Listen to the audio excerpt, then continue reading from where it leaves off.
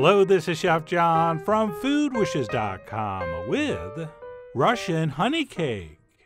That's right, there are basically three different ways you can make this amazing cake the hard way, the harder way, and the way we're going to do it, the hardest way. But it's all going to be worth it because once you're finished, you're going to be enjoying one of the most beautiful and delicious cakes of all time. So, with that, let's go ahead and get started. And the first thing we're going to need to do here, comrades, is burn some honey. So, let's go ahead and transfer some honey into a saucepan that we will place over medium heat. And in case you're keeping score at home, I'm using a wildflower honey, but I have to think pretty much any honey is going to work in this. And I know I just said we're going to burn the honey, but that's not really true. All right, all we're really going to do is cook this until it's like one shade darker and sort of takes on the aroma of caramel. Or as I pronounced it all my life, caramel. And yes, it is insane I'm using a pan this small because it is probably going to foam up and you do not want this boiling over on your stove.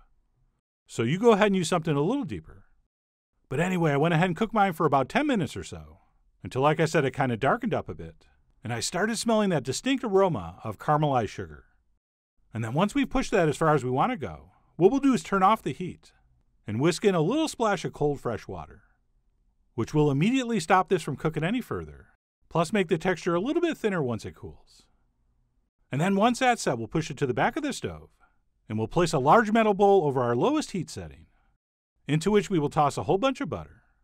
And for the record, this bowl is supposed to be placed over simmering water and not directly on the flame. But just like when I make hollandaise, I like to live dangerously. And as long as we have a really, really low heat setting, this will be fine. And then to the butter, we will also add a touch of white sugar, as well as some of our recently burned honey, plus some regular honey. And then what we'll do to this is absolutely nothing. We will simply let it sit there until our butter melts. And while we're waiting, what we should do is take some baking soda, not powder, baking soda, and add some salt to it as well as some cinnamon, because we're going to be tossing that in in a few minutes. And then what we'll do once our butter melts, or almost melts, is go ahead and give this a whisk and leave it over the heat until it's very warm to the touch. All right, not super hot and not just barely warm. And then what we'll do once that is very warm to the touch is go ahead and add six cold eggs. And we'll go ahead and whisk those in. And relax, this is not so hot that it's going to scramble those eggs. Which reminds me, if your eggs scramble, it was too hot. And what we'll do once our eggs have been mixed in is simply keep this over that very low heat setting until the entire mixture comes back to that very warm temperature. And sure, a temperature would help here, but you're not getting one. You have to learn to use the force and your fingertips. And then what we'll do as soon as that mixture does feel very warm again is go ahead and stir in our baking soda cinnamon mixture. And you'll see just after a few minutes of stirring, the mixture is going to change color and get much lighter and it will sort of look thick and foamy, and that's because of all those little tiny bubbles that the baking soda is producing. And then once that's been stirred in, and our mixture is hopefully looking a little something like this, we will remove that from the heat into some better light. And we'll go ahead and finish this up by sifting in some all purpose flour which we generally don't want to do all at once. So what we'll do is sift this in two or three additions. And as soon as one addition has been stirred in, we will add the next. And once all that flour has been added and stirred in, we should be looking at a somewhat thick, but still fairly runny and easily spreadable batter. So that is looking just about perfect right there. And then what we'll do to form our layers of honey cake is transfer just shy of about half a cup onto the Silpat line baking sheet and then using ideally an offset spatula, we want to spread this out into about an 8 or 9 inch circle. And since I have like zero cake making utensils and tools, I just spread mine out using a rubber spatula. But if you Google offset spatula, you'll see what you're supposed to use. And yes, as you can tell from the dirty Silpat, I actually did a few before I filmed this one. But don't worry, this one came out just as bad. And then what we'll do once that's set is give it a quick shake and then the old tappa tappa to knock out any big air bubbles. At which point we're going to cook this at 375 for about six to seven minutes or until it looks like this. And that's it. We only have to do that seven more times. Which is why it's an advantage to have more than one pan and one silpat. And no, my oven didn't magically clean that silpat while it was baking. This was a shot from the other pan I was using. And the shot just happened to be a lot better.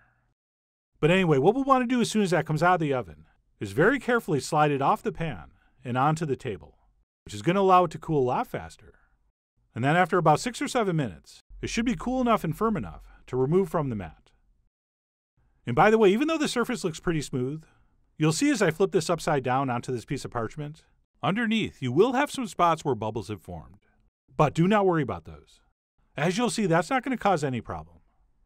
And you should be pretty shocked if each layer does not have a few of those.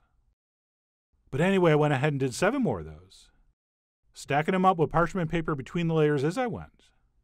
But I stopped stacking at three, because as you can see in this shot, those first few I piled up sort of stuck to the paper, because this is a relatively sticky cake because of the honey. So I stopped stacking those and just ended up spreading them out on the table like this. And then once all your layers are totally cooled, we can take a plate, in my case a paper plate, and trim around them making sure they're all the same size. And not to brag, but all mine were really close.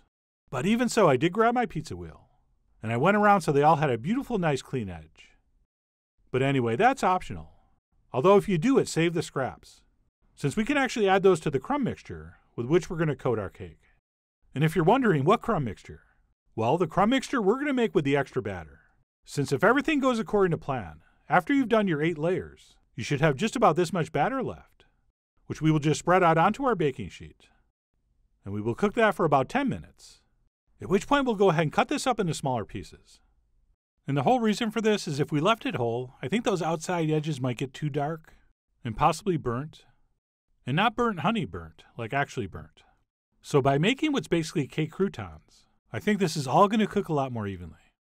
So we will cut, toss, and go ahead and pop that back in for about maybe 7 to 10 minutes more, or until fairly well browned. And by the way, we can also do that with any of our trimmings from earlier.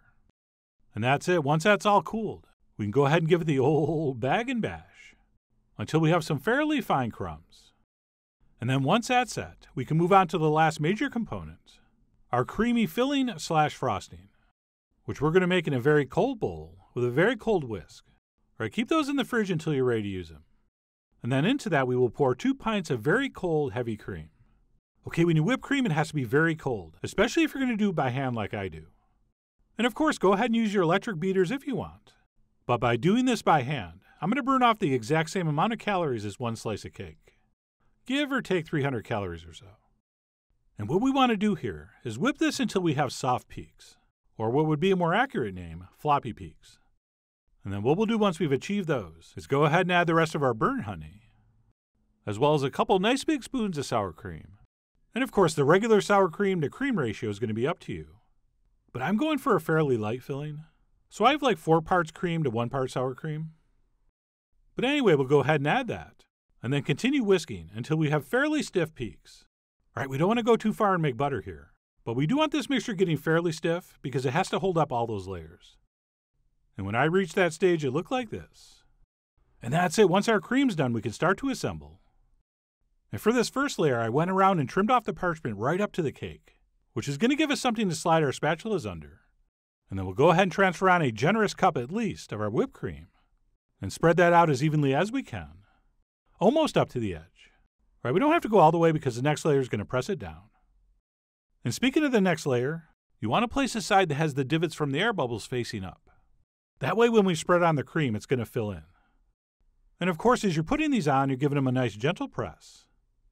But anyway, we'll continue creaming and caking until we have one layer of cake left. And unlike the other ones, this last layer I like to put with the nice side up. So maybe save your smoothest best one for last. And that's it, we'll go ahead and frost the top. And if everything goes according to plan, you should have just enough whipped cream to go around the sides as well, which I barely did. And if you don't, don't worry about it. Just tell people you're doing the rustic version. And you know, there are so many activities involved with cooking that I find very therapeutic. And frosting a cake is way up that list. Right, it just feels really good, and it makes you feel really good. And because of that, while you're doing this, that cake is absorbing all those good feels. Which is why when your guests eat this, they feel good. Or at least that's what I assume happens.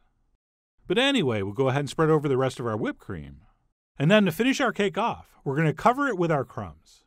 And for that, I'm going to use the old ricochet method, where we let the crumbs fall against like a bench scraper or a piece of paper like this, and they basically bounce onto the cake and stick onto the whipped cream. And personally, I like to go for full coverage, although you do see a lot of versions where just the top is crumbed, or just the sides are covered and the top is left white. But anyway, presentation's up to you. I mean, you are, after all, the Vladimir of your crumb veneer. And it's up to you to decide how you should be putting these on. But anyway, like I said, I like to cover the whole thing. At which point we can do a little bit of cleanup around the base. And then I have some horrible news. We have to refrigerate this overnight, or longer, to enjoy it in all its glory. And during that time, that whipped cream is going to kind of soak into the layers, and they're going to get even moister and more luscious. So do not try to eat this as soon as you make it. Although, if you did, it probably would still be really good. But I did go ahead and pop mine in the fridge overnight. And by the way, I actually did cover it in plastic. I just didn't film that, since this video is so long. And then a day later, I went ahead and pulled it out. At which point, I performed the always terrifying maneuver of trying to transfer it onto a cake stand with two wobbly spatulas. But as you can see, that went pretty well. And speaking of things going well, cutting a nice, neat first slice out of one of these big cakes is not the easiest thing to do. But much to my surprise, that also worked out better than expected. So I grabbed a fork to go in for a taste. And please note, those toasted crumbs are just not for a garnish. They really do help accentuate that caramelized honey flavor in the cake. And then, as far as the cake itself goes, it really is shockingly light in texture, but with a very profound, deep, deep honey flavor. Right, that tiny little amount of bitterness we get from the burnt honey step really is the secret here. And then that slightly tangy whipped cream frosting is just absolutely perfect for this, since not only does it provide a little bit of acidity, and of course a lovely light texture, but unlike most frostings, it is not too sweet. Right, the only thing we used to sweeten that was that little bit of burnt honey. So to summarize, I was very happy with how this came out. And I celebrated by cutting another slice, so I could do a fully food style plate and then take some pictures. And more importantly, eat some more. But anyway, that's it my take on Russian honey cake. And no, it's not easy to make, and it does take a lot of time and effort, but it is so, so worth it. And that's coming from someone that doesn't even like cake. So whether you're making this honey cake for your honey's sake, or you're just in the mood for a challenging bake, I really do hope you give this a try soon. So please follow the links below to get the ingredient amounts, the written recipe, and much more info as usual. And as always, enjoy.